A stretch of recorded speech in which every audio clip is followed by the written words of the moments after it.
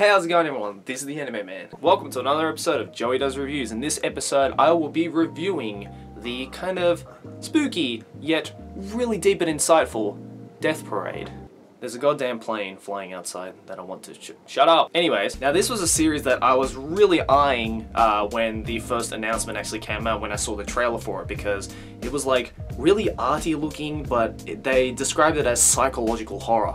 And you know, if you've been on my channel for a while or you've seen my top 10s and or reviews, then you'd know that I love psychological horror, so I had to watch this series. And oh my god, am I glad I watched this because this series was everything that I expected and more. Now let's get through the main synopsis before we jump into the review. The series is set in a kind of afterlife bar that they call the Quindecim, where two contestants, contestants that they call it, come to the Quindecim after death, forgetting that the fact that they had died, forgetting about the reasons that they had died. Now, they come to Queen Quindecim, this bar, where they are assessed by the bartender Decim to see whether they will be either resurrected or they will be dropped down into hell. Now in order to assess these two people, a roulette is spun and they play a particular game. This can be anything from cards to arcade machines to ping pong to darts to you name it, all kinds of bar games that you'd find in regular bars. However, one day a mysterious girl comes into Quindecim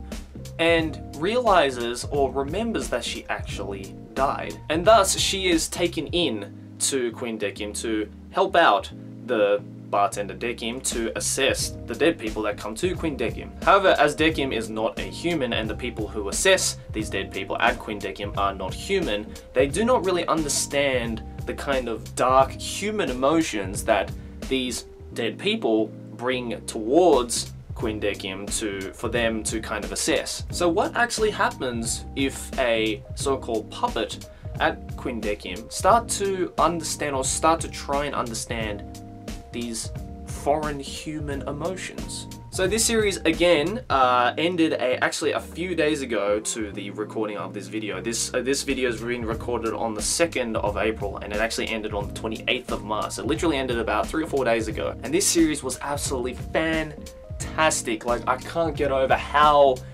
like dark and psychological and absolutely like messed up this series could get. Now one positive I can definitely say right off the bat is the animation quality and the art style. It's so raw but it's really like playful and artistic at the same time and it really fits the kind of theming and the setting that Death Parade is part of. And definitely the character interactions and the character development, especially towards the second half of the series where you start to really see this change in character of all the characters, including Decim and the main protagonist. And I don't know, just like everything about like just the feeling of this series was just really, really solid in my opinion. It really, they really knew, the creators of Death Parade really knew how to set a kind of feeling or like aura as they call it that really suits the genre and the story and just everything like just that just harmonize together really really well. This series is yet again one of those plot twist mindfuck series that you really need to like pay attention to because they like they make your mind blow like straight off like see like episode 2 the first mind blow just straight off the bat like you find out you know the kind of behind the scenes of what actually happens in episode one, like straight away. And I thought that was really interesting because usually when they do those kinds of stuff, they establish, you know, a few episodes in usually about, you know, all these kinds of scenarios and what is actually happening when you look at it from the third person perspective. So usually after about maybe the third or fourth episode, they go, they jump into the first person perspective of the characters and actually show you, you know, all the behind the scenes that you couldn't see in the first couple of episodes. And then you finally realize that like, oh, okay, this is what's actually happened. But I found it really interesting that they did a straight off seat, like episode two. Like uh, that was something that I was not expecting. So that was really cool that they really established, you know, the behind the scenes really early on in the series. Now, let's go on to the critiquing of some parts that they could have kind of worked on because this series, in my opinion, was really good, but it wasn't it wasn't quite perfect. Now one thing I think they could have definitely worked on if they maybe had a few more episodes because this series only had 12 episodes was trying to maybe explain some of the secondary characters a little bit more. Now, of course, some of the secondary characters that you see throughout the series, like the Elevator Boy, for example, I forget his name, you, you, know, he's like one of those characters that are just there to like, you know, build on the setting or build on the kind of theming. So it's you, it's not essential to know the backstory of that character, but maybe knowing, you know, the backstory of say Oculus or even Nona would have been really quite interesting to, you know, maybe further reinforce, you know, what the setting actually is. Like, what is Quindecim actually? You know, obviously a lot of people say that it is the kind of nirvana of the series, but you know, it would have been interesting to see, like, you know, who actually runs Quindecim? Like, what is actually going on behind the scenes? You know, who is Oculus? Who is Nona? It's not quite fully established in the series, unfortunately, so you have to kind of assume what is going on just from the subtle hints that they leave every now and then. But one thing I can say that they really nailed with this series was the ending. Like, the ending was just really nice and, like, it was ambiguous. It kind of left you a little bit of an ambiguous feeling, but yet again, it was really satisfactory, you know, just with that final scene especially. Like, if you guys have seen the series, then you'll know what I'm talking about. Like, that final scene, just that final shot before the credits roll, especially, it's like, oh,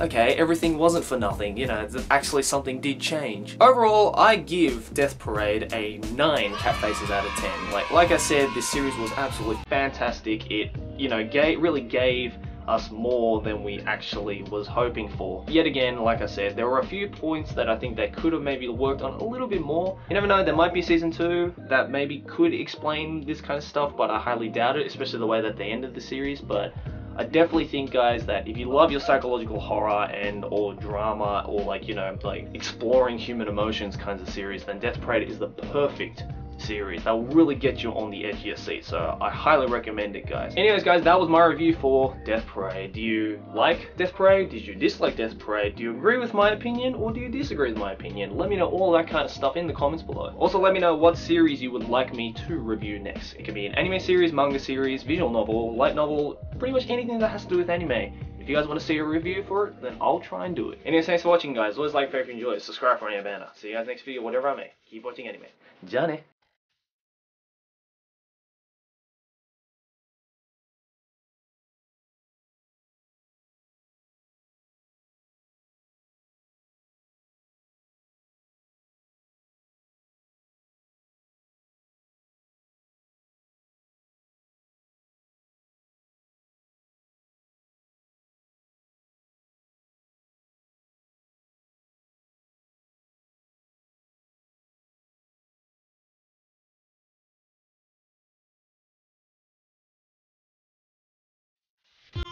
Today?